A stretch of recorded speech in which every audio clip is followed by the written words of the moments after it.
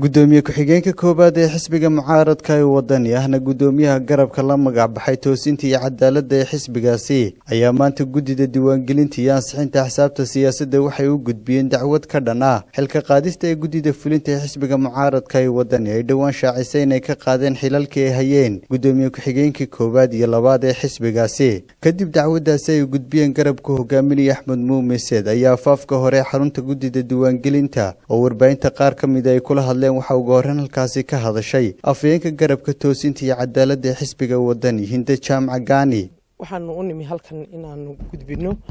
dacwaddii aanu wakhti badan ka sheegnay saxaafadaha iyo goobaha aanu dadka taageerayaashayada kula kulmayno taasoo runtii isugu jirta garabo badan. Kowna ay ka tahay in sifa sharci darra a lagaga qaaday gudoomiye ku-xigeenkii koowaad ee xisbiga mucaaradka ee wadani iyo gudoomiye ku-xigeenkii labaad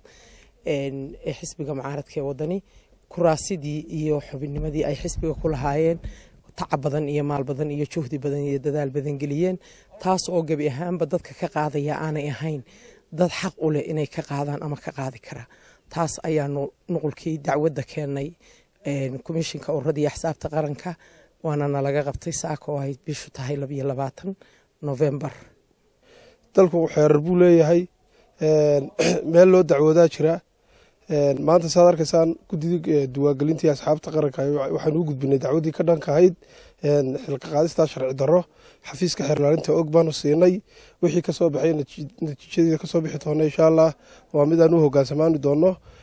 dacwaddan ay maanta garabka toosinta iyo cadaaladda la magac baxay xisbiga mucaaradka ee wadani ayuu gudbiyeen guddida diiwaangelinta iyo ansixinta xisaabta siyaasadda somalilan ayaa waxa uu ka dambeeyey kadib markii dhowaan guddida fulinta ee xisbiga mucaaradka ee wadani war murtiyeed ay soo saareen ay ku sheegeen in xilka ay kaga qaadeen guddoomiye ku-xigeenkii koowaad iyo labaad ee xisbiga mucaaradka ee wadani taasoo ay ku sababeen inay jebiyeen mas'uuliyiintaasi xeer hoosaadkii u yaalay xisbigaasi. Cabdiraxmaan abdilaahi fantastig star t v hargeysa